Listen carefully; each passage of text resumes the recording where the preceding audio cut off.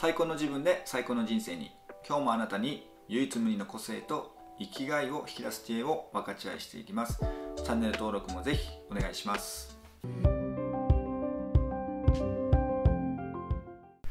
こんにちは島田です。今日はあなたの集中力を必ず高められる方法について話していきたいと思います。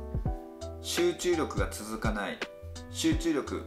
全くないんですよ。っていう方すごく多いと思うんですよね。僕も集中力ってすごく、まあ、問題というか課題でどうやったら高められるのかなっていろんな本読んだりとかねいろんな人から教えてもらったりいろいろこう実践してきたんですけどやっぱり最適解ってあるんですよ。そしてあなたにとって一番理想なものあなたが一番やりやすいものってオリジナルなものがあるんですけどそこにね行き着くためにもここだけは外せないよっていうものがやっぱりあるんでそこをねお伝えしていきたいと思いますまずはじめに集中力が続かない集中力がすぐ消えちゃうって方はやる気が出ないからなのかなと思ったりやる気さえあればなって思うことないですか？今最新の脳科学の研究によるとやる気は待ってても出ないってことが分かってるんです。だからもしあなたがやる気出てこないかなとやる気出てからやろうかなと思ってても待ってたらやる気は出てきません。なのであなたがもし今待ってるんだったら何かしら行動した方がいいです。じゃあどうするのかってところをね話していきますね。まず脳の仕組みを話しますね。脳の中に即座角っていうものがあるんです。そこがやる気の原点なんですね。この即座角は反応がすごく乏しいんですよ。弱いってことね。だから何か刺激してその即座角を「おい!」と起こさないと反応しないんです。だからさっき言ったように何かしら行動しないと反応しないですよ。やる気出ないですよってことを言いました。この即座価格を反応させるために一番重要なことはまずやってみる。とりあえず体を動かしてみる。これが一番シンプルにできることです。そうすると自然とリズムが出てきて勝手に集中が通行になっていきます。なのでまずやってみる。とりあえず体を動かしてみる。これが、まあ、答えなんですね。なるほど。じゃあ体を動かすとかとりあえずやってみるってことが大事なんですね。っていうところまで分かったとしてもまだこのままではできない人が多いと思うんです。まずやるべきことはなるべく難易度が低い作業。要は簡単にできるものですね。難しくないものからやるって決めてるものをやってみてください。例えば勉強だったら前回やったものの振り返りみたいな形。そうすると割と簡単だしまあ一回やったものだからちょっと記憶にあるじゃないですか。そうやってこう簡単にできやすいもの単純作業に近いものを選んでみてください、まあ、そういった形で勉強以外のものでも何か集中するためにやるときはまずはこうエンジンを温めるような形でなるべくやりやすいもので簡単なものを選んでみてください。そうすると大体10分ぐらいするとエンジンがこう、ね、しっかりかかってくる形になるんであなたが今日この時間にね今一番集中してやりたいことにシフトしていくとどんどんそこから集中力が高まっていって、まあ、ゾーンに入るというかね一番集中力を高められる状態になってきます。次に考えることよくある質問がじゃあ環境とかどう思いますかとか音楽ってない方がいいと思いますか？雑音があった方が集中できるとかってもう言いますよねっていう意見あると思うんですよ、まあ、これもね最適解があるんでお伝えしていきますね。まず脳のことだけを考えると勉強に必要なものだけに集中できることが大事だったりするじゃないですか。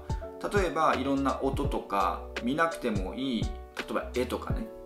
人が通っているとか。そういう情報がありすぎると脳は全てを吸収してしまう捉えてしまう性質があるんで情報量が多くなっちゃいますよね。そういう意味ではじゃあ勉強に集中できなくなるんじゃないっていうのはまあ分かってくると思います。じゃあ音楽ない方がいいよねっていう考えになるんですけども実は音楽によって集中を高められるってことも分かってるんです研究では。ということは集中できる音楽を使うってことはある意味いいということなんですね。その中でもベストなのは今言われてるのはアルファーファを使った音楽を聴くってことです。この音楽を取り入れるのはしかも最初の方ですね。集中力を高めてくれる音楽なので集中力を高めたい一番最初のとっかかりの部分ですね。その時に音楽を聴く。そうすると自然と気持ちが落ち着いていって自然と集中できるような状態になっていきます。集中ゾーンにどんどん入っていく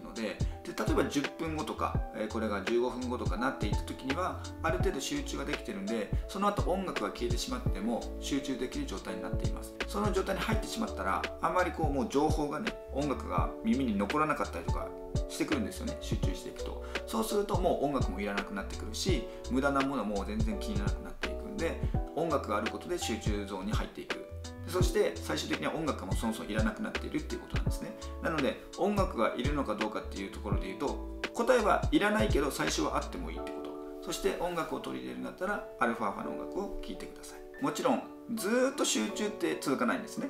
まあ、よく言われるのはポモロードテクニックといって25分集中して5分休憩してもう一回25分。もしくはこれを50分にするっていうパターンもありますけどもいずれにしてもあなたにとって最適な時間で1回区切るってことも当然大事です。そうすることで集中状態と休憩時間っていうのをちゃんとメリハリをつけることによって1回休んだらまた集中できる。1回休んだらまた集中できるということで1日の中で集中できる時間がどんどん増えてきます。ということで